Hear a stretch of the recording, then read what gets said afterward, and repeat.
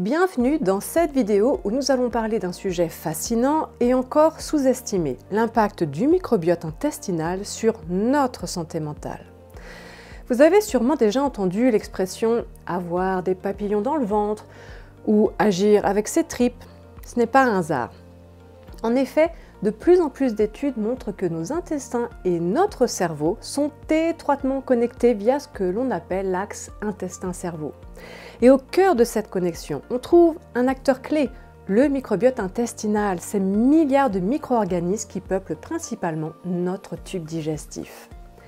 Dans cette vidéo, nous allons explorer comment le microbiote influence votre humeur, votre stress, votre sommeil et même des troubles comme l'anxiété la dépression.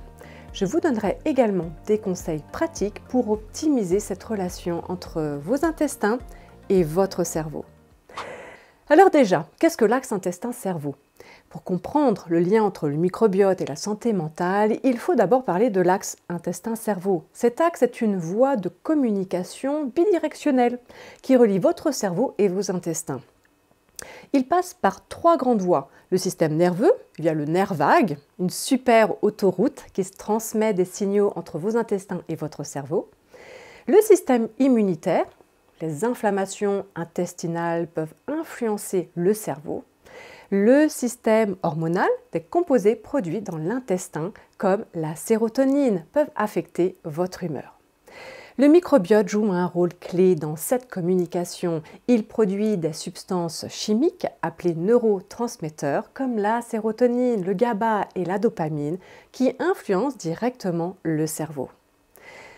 En cas de dysbiose intestinale, en général, les personnes qui voient le verre à moitié plein ont tendance à le voir à moitié vide. Et d'un côté, on comprend pourquoi quand on sait qu'environ 90% de la sérotonine de notre corps, connue comme l'hormone du bonheur, est produite dans l'intestin grâce à certaines bactéries du microbiote.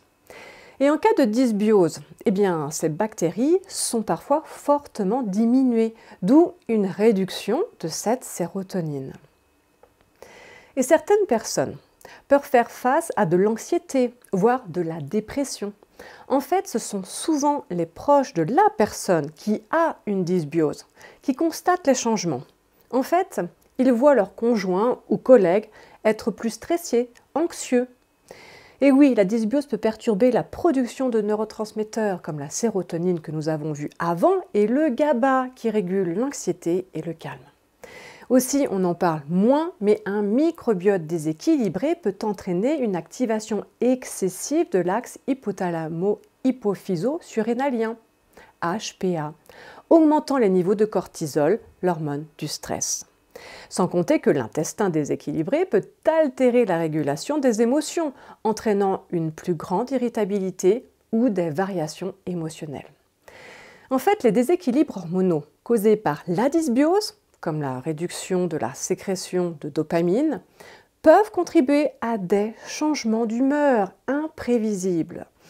Ils constatent aussi que leur partenaire ou collègue est plus souvent fatigué, oublie des choses, et oui, une dysbiose peut augmenter la perméabilité intestinale, ce qui permet le passage de molécules inflammatoires comme les lipopolysaccharides, les LPS, dans le sang, provoquant une neuroinflammation et une diminution de la clarté mentale.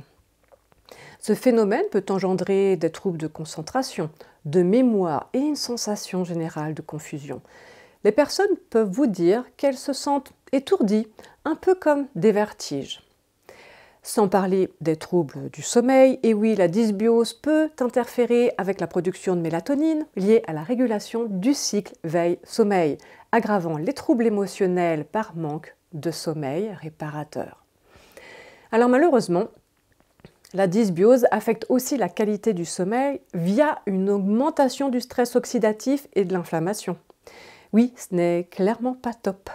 Alors, comme nous l'avons vu dans les précédentes vidéos du programme disponible sur ma chaîne YouTube dans la playlist Les trois piliers du microbiote, oui, travailler l'alimentation par l'apport quotidien de probiotiques et prébiotiques est essentiel, mais gérer son stress l'est aussi. Vous êtes-vous déjà demandé pourquoi vous avez parfois mal au ventre lorsque vous êtes stressé? Eh bien, cela s'explique par la connexion étroite entre vos intestins et votre système nerveux. Le stress affecte le microbiote. Par contre, un stress chronique peut déséquilibrer votre microbiote, réduisant la diversité bactérienne et favorisant la prolifération de bactéries pathogènes. Alors, nous pouvons évaluer la gravité d'une dysbiose par un test d'aisselle. Quelles sont les bactéries manquantes Est-ce qu'il y a des bactéries pathogènes J'ai fait une vidéo euh, sur le sujet. Je vous mets le lien en barre d'information si cela vous intéresse. Est-ce qu'un test d'aisselle est nécessaire? J'y répondrai dans cette vidéo, la dernière du programme, où je vais répondre aux questions les plus fréquentes. Maintenant, parlons solutions. Comment optimiser votre microbiote pour une meilleure santé mentale? Eh bien, en prenant soin de votre microbiote avec quatre actions, consommez déjà des fibres riches en prébiotiques. Les fibres alimentaires sont la nourriture principale des bonnes bactéries de votre intestin, je vous montre une liste à l'écran.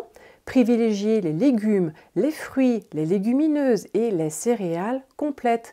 Intégrez des aliments directement fermentés, le yaourt fait maison, le kéfir, la choucroute, le miso, les légumes fermentés contiennent des probiotiques naturels qui renforcent le microbiote.